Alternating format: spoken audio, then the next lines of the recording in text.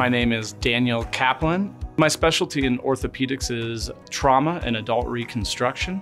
My care philosophy is that when I am with a patient or their family, I want to make it as one-on-one -on -one as possible. There's always distractions in medicine and orthopedics specifically, but when I am with that patient or their family, I really want to take the time one-on-one, -on -one, um, just like I do in the operating room. If somebody's in the operating room with me, they're really all that matters at that moment.